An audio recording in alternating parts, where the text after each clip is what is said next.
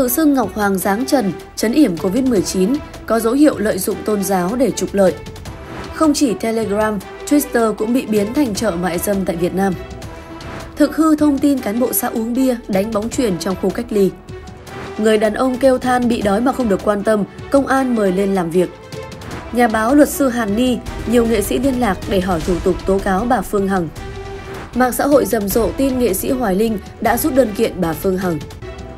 Quý vị vừa điểm qua những tin tức chính có trong chương trình ngày hôm nay của bản tin an ninh trật tự. Sau đây là nội dung chi tiết, mời quý vị cùng theo dõi.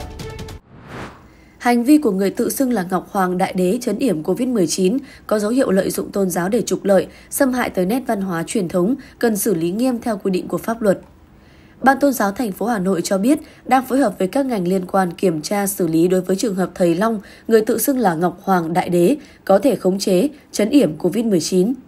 Theo tiến sĩ Phạm Tiến Dũng, trưởng ban tôn giáo thành phố Hà Nội cho biết, qua xác minh ban đầu, ban tôn giáo thành phố Hà Nội xác định nhân vật Lương Gia Long có tên trên căn cước công dân là Lương Chính Khang, sinh năm 1979, trú tại Bắc Từ Liêm, Hà Nội, được xác định là chủ tài khoản của kênh YouTube Thầy Long và tài khoản Facebook TikTok Lương Gia Long. Qua kiểm tra xác định, trong clip đăng tải trên mạng xã hội, người này xúc phạm anh hùng dân tộc quốc công tiết chế thống lĩnh chư quân, hưng đạo đại vương Trần Quốc Tuấn. Đồng thời, có những phát ngôn hành động xúc phạm, phỉ báng tín ngưỡng thờ mẫu. Trong thời điểm cả nước đang chung tay phòng chống dịch COVID-19, người này tự xưng là Ngọc Hoàng Đại Đế, chấn yểm COVID-19, là trái với quy định của Điều 5 Luật Tín ngưỡng Tôn giáo năm 2016, quy định các hành vi nghiêm cấm xúc phạm tín ngưỡng tôn giáo. Theo ông Nguyễn Long Giang, Tổ trưởng Tổ dân phố 4, phường Xuân Tảo, quận Bắc Từ Liêm, Hà Nội, anh Lương Chính Khang và gia đình chuyển về sinh sống ở tổ dân phố số 4 từ năm 2015 cho đến nay. Người đàn ông này đã nhiều lần xảy ra xích mích với hàng xóm và chính quyền địa phương, gây mất trật tự an ninh tại khu vực. Anh Khang từng sử dụng súng đồ chơi để đe dọa người khác, gây mất trật tự an ninh khu phố. Sau đó anh ta bị lực lượng chức năng của phường Xuân Tảo, quận Bắc Từ Liêm mời đến làm việc, xử phạt. Mới đây trong thời gian giãn cách xã hội phòng chống dịch COVID-19, tại nhà anh Khang thường xuyên có nhiều người đến tụ tập xem bói, gây mất trật tự an ninh tại khu vực. Dù lực lượng chức năng đã tuyên truyền nhắc nhở, nhưng chỉ một thời gian lại trở về như cũ. Thời gian qua, cộng đồng mạng xôn xao trước những clip do tài khoản YouTube Thầy Long đăng tải.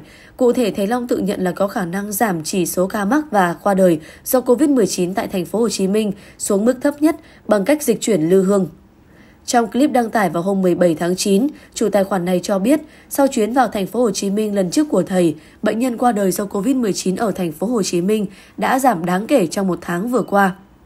Không chỉ đăng tải những clip nói về Covid-19, tài khoản YouTube của người đàn ông này còn đăng tải nhiều clip nhảm nhí về tâm linh huyền bí, truy bắt âm binh, xem bói ngay tại nhà, khiến cho nhiều người bức xúc. Mời quý vị cùng đến với thông tin đáng chú ý khác. Twitter được xem là nơi mà các tú ông, tú bà lôi kéo khách hàng tham gia vào các hội nhóm kín của họ trên Telegram. Như chúng tôi đã đề cập, Telegram trở thành ổ chứa mại dâm tại Việt Nam. Ứng dụng nhắn tin này hiện có rất nhiều nhóm chat kín, chuyên phục vụ mục đích môi giới mua bán dâm. Chưa dừng lại ở đó để có thể chào mời được nhiều khách hàng hơn vào những hội nhóm kín của mình, các tú ông tú bà còn sử dụng nhiều nền tảng mạng xã hội khác, trong đó có Twitter. Trái ngược với mạng xã hội lớn khác như Facebook hay Instagram, hệ thống kiểm duyệt nội dung của Twitter bị đánh giá là tương đối lỏng lẻo. Người dùng có thể thoải mái đăng tải những hình ảnh, video nhạy cảm, thậm chí là khỏa thân mà không gặp bất cứ vấn đề gì về kiểm duyệt. Chỉ với một số từ khóa tìm kiếm đơn giản, người dùng có thể tìm được hàng trăm tài khoản chuyên đăng tải thông tin, hình ảnh, video khiêu dâm. Và dĩ nhiên, không ít trong số tài khoản này là của các tú ông tú bà chuyên môi giới mại dâm. Thậm chí những tài khoản này còn sở hữu lượng người theo dõi khủng từ vài chục nghìn cho tới vài trăm nghìn người đăng ký. Vẫn với chiêu bài quen thuộc là kết nối Sugar Baby với các Sugar Daddy, một tài khoản Twitter với hơn 290.000 lượt theo dõi, thường xuyên đăng tải các tweet với nội dung tìm người giúp đỡ các bé sinh viên. Theo như quảng cáo từ các tweet trên tài khoản này, những cô gái được giới thiệu còn rất trẻ, sinh năm 1999 đến 2003, đều là sinh viên tại các trường đại học trên địa bàn Hà Nội, thành phố Hồ Chí Minh và một số tỉnh thành khác. Những khách hàng có nhu cầu kết nối sẽ không trực tiếp liên hệ thông qua Twitter, thay vào đó tài khoản này sẽ dẫn kèm đường link đưa người dùng tham gia vào nhóm chat kín trên Telegram. Điều này cho phép các tú ông tú bà có thể hoạt động an toàn hơn và dễ dàng chăm sóc khách hàng hơn. Điều đáng nói là những tài khoản này đều đã tồn tại trên Twitter từ vài năm nay. Tuy nhiên, nền tảng này gần như không kiểm duyệt những nội dung nhạy cảm mà người dùng của họ đăng tải. Liên quan đến thông tin cán bộ xã uống bia, đánh bóng truyền trong khu cách ly, lãnh đạo xã Thiệu Thịnh, huyện Thiệu Hóa, tỉnh Thanh Hóa thừa nhận có việc thu tiền của công dân đóng góp, nhưng phủ nhận thông tin phó chủ tịch xã này uống bia, đánh bóng truyền trong khu cách ly. Theo đó, ông Nguyễn Thành Hưng, phó chủ tịch Ủy ban nhân dân xã Thiệu Thịnh, khẳng định không có sự việc này. Theo thông tin từ Ủy ban nhân dân huyện Thiệu Hóa, sau khi phát hiện một số cán bộ quản lý tại khu cách ly xã Thiệu Thịnh đang truyền bóng tại sân khu cách ly, Ban chỉ đạo phòng chống dịch xã này đã nhắc nhở chấn chỉnh kịp thời, yêu cầu thực hiện nghiêm các biện pháp phòng chống dịch COVID-19. Về thông tin Ủy ban Nhân dân xã Thiệu Thịnh tự động thu tiền của người trong khu cách ly, theo cán bộ xã Thiệu Hóa, những công dân cách ly tại trường học được di chuyển về cách ly tại nhà để bàn giao trường học cho ngành giáo dục. Trong quá trình trao đổi, công dân có ý kiến đề nghị tự quyên góp hỗ trợ cho địa phương trong công tác phòng chống dịch. Cán bộ quản lý khu cách ly tự ý nhận ủng hộ của 113 trường hợp với số tiền là 11,9 triệu đồng. Qua kiểm tra của huyện Thiệu Hóa, việc thu tiền đóng góp của công dân không có chủ trương của Ban chỉ đạo phòng chống dịch xã Thiệu Thịnh. Sau khi nhận được thông tin, Ủy ban nhân dân xã Thiệu Thịnh đã yêu cầu các thành viên trong ban quản lý khu cách ly xã báo cáo giải trình về sự việc, đồng thời khẩn trương hoàn trả lại toàn bộ số tiền ngoài các khoản thu theo quy định đã nhận của công dân. Mới đây, thông tin từ Công an huyện Đức Hòa cho biết đã triệu tập LCL, sinh năm 1980, tạm trú ấp 2 xã Hữu Thạnh, huyện Đức Hòa, tỉnh Long An, lên làm việc về hành vi thông tin sai sự thật, gây dư luận xấu trong xã hội. Hai ngày trước trên đường đi test COVID-19 về, L có ý định ghé vào Ủy ban Nhân dân xã Hữu Thạnh để hỏi về chính sách hỗ trợ người lao động khó khăn do COVID-19.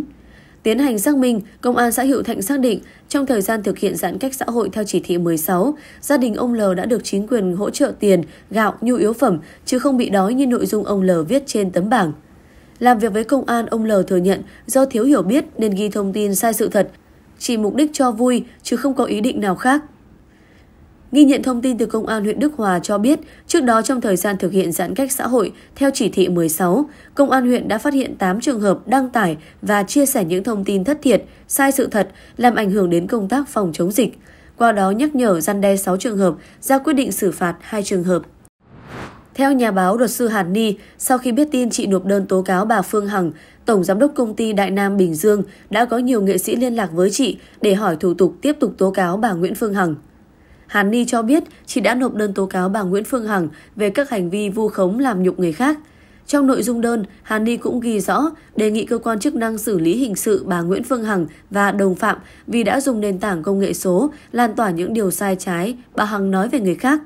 Hàn Ni cho rằng không chỉ bà Nguyễn Phương Hằng phải chịu trách nhiệm về những hành vi của mình, mà cả các trang cá nhân hùa theo bà Phương Hằng để bịa đặt thông tin, bình luận tục tiễu và chửi bới các nghệ sĩ cũng sẽ phải chịu trách nhiệm liên quan. Sau khi Hàn Ni nộp đơn tố cáo, một số nghệ sĩ, trong đó có cả những nghệ sĩ dù không bị bà Hằng nêu tên trực tiếp, nhưng họ cũng liên lạc với Hàn Ni để nhờ tư vấn về thủ tục tố cáo bà Hằng. Ngoài một số nghệ sĩ nhờ Hàn Ni tư vấn về thủ tục nộp đơn tố cáo, thì đến nay đã có danh hài Hoài Linh, ca sĩ Đàm Vĩnh Hưng, vợ chồng công vinh Thủy Tiên cũng đã gửi đơn tố cáo bà Nguyễn Phương Hằng đến cơ quan công an. Sau một ngày, Hoài Linh xác nhận đã nộp đơn kiện, cõi mạng lại xôn xao khi rầm rộ thông tin nghệ sĩ Hoài Linh đã rút đơn kiện.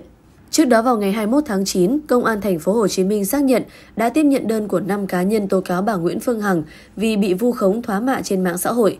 Một trong năm người chính là ông Võ Nguyễn Hoài Linh, tên thật của nghệ sĩ Hoài Linh. Phía đại diện Nam Danh Hải cũng xác nhận thông tin trên và cho biết đã hoàn thành thủ tục kiện tụng từ hồi tháng 7 năm 2021. Đáng nói là đến tối qua, trên các diễn đàn bàn chuyện showbiz, rầm rộ đăng tải thông tin cho rằng nghệ sĩ Hoài Linh đã rút hồ sơ khởi kiện bà chủ Đại Nam. Đồng thời cụm từ nghệ sĩ Hoài Linh rút đơn kiện lập tức viral và trở thành đề tài bàn tán ở khắp mọi nơi. Tuy nhiên trên thực tế, đây mới chỉ là những tin đồn trên mạng xã hội. Chứ chính chủ chưa có bất kỳ động thái liên quan nào. Không loại trừ khả năng đây chỉ là thông tin chưa xác thực, cố tình bịa đặt để gây nhiễu loạn dư luận trong thời điểm nhạy cảm này. Hiện chúng tôi đang liên lạc với phía nghệ sĩ Hoài Linh để tìm hiểu thêm về sự việc. Rất nhiều tin tức đáng chú ý khác đang chờ đón quý vị trong các bản tin tiếp theo trên kênh Tin tức Việt. Quý vị đừng rời kênh, vì Quỳnh Anh sẽ quay trở lại ngay.